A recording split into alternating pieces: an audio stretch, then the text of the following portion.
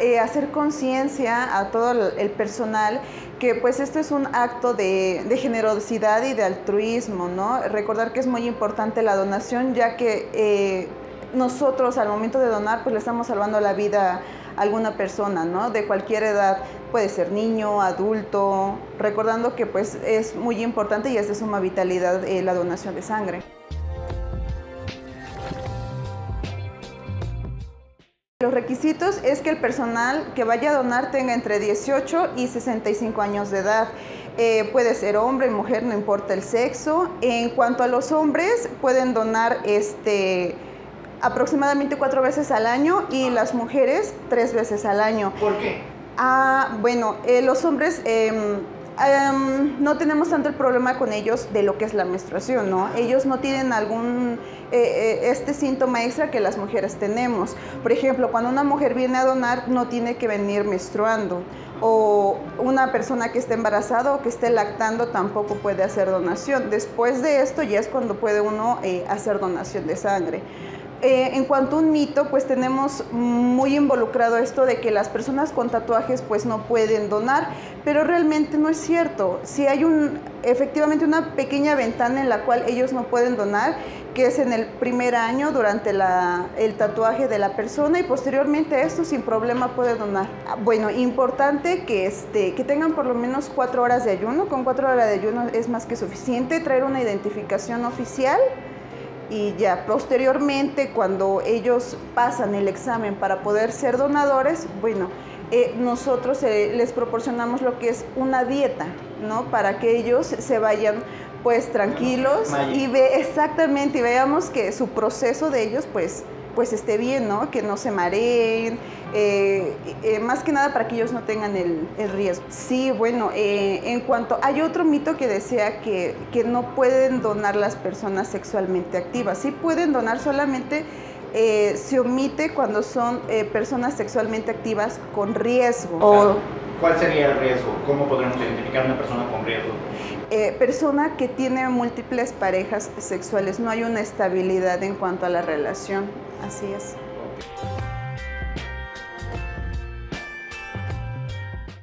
Es el riesgo que, tiene el estar en contacto al final de cuentas con una herida directamente al, eh, de la aguja, pero es más que nada solamente eso. Después de eso, pues fíjese que hasta eso las personas que vienen a donar pues tienen un beneficio.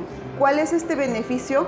El que cuando ellas vienen se les hace una consulta médica y se les hace estudios de laboratorio. Inclusive pues ellos están recibiendo este tipo de, Em, pues de información acerca del estado de su salud. Es como un chequeo general que lo tienen que hacer. Exactamente. Se ahorran el chequeo general, vienen, ayudan, donan. Exactamente. Entonces ahí nos estamos ayudando mutuamente.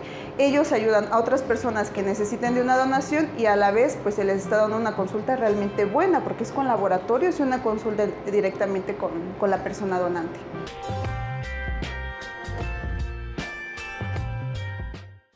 ¿Nos puede explicar un poquito cuál es el procedimiento del sangrado, bueno, de cómo es que se dona sangre? Pues? Claro, la donación de sangre comienza con la evaluación del donador.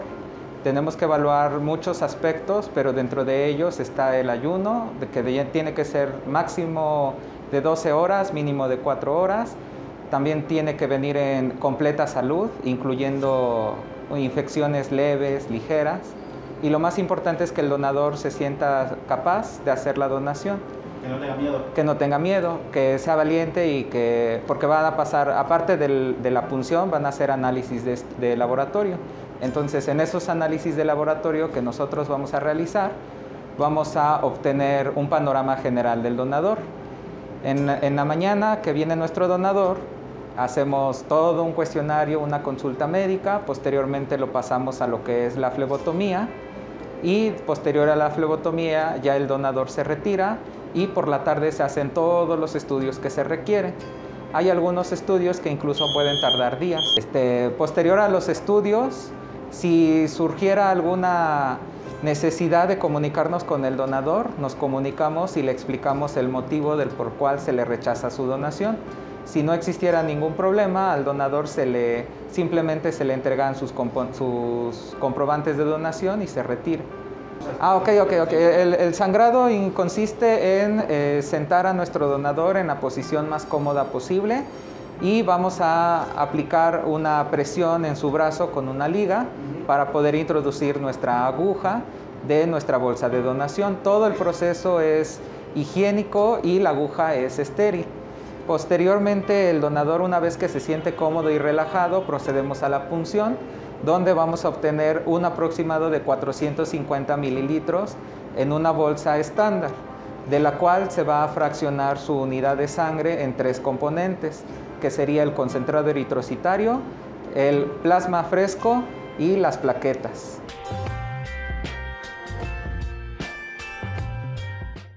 Nos permite mantener estas unidades en este caso, estas unidades requieren una temperatura de entre 4 y 8 grados. Puede variar un poco esa temperatura, pero necesitamos este refrigerador que es especialmente para banco de sangre.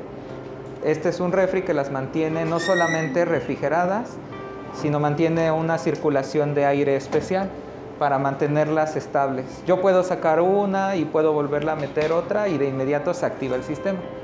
Ahora, este no es un refrigerador, ah. este es un congelador ah, que va a mantener una temperatura de congelamiento.